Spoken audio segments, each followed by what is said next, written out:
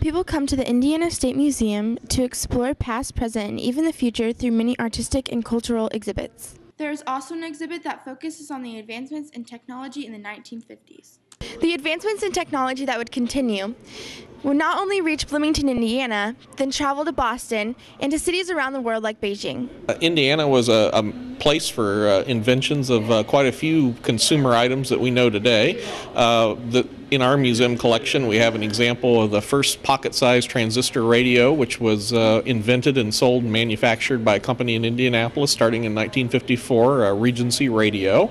And the design of that has kind of been linked to uh, modern day uh, Apple products and iPods. The design in 1954 looks a lot like things we have today. Hoosiers helped create the pop culture we know today, looking at some of the famous people highlighted at the Indiana State Museum with Indiana roots are Jane Pauley, Tony Stewart, and David Letterman. Not only does the Indiana State Museum highlight Indiana culture through their exhibits, but they also have programs like Indiana's Band Slam, where visitors can kick back and enjoy popular music from the 1950s while showing off groups from back in the day.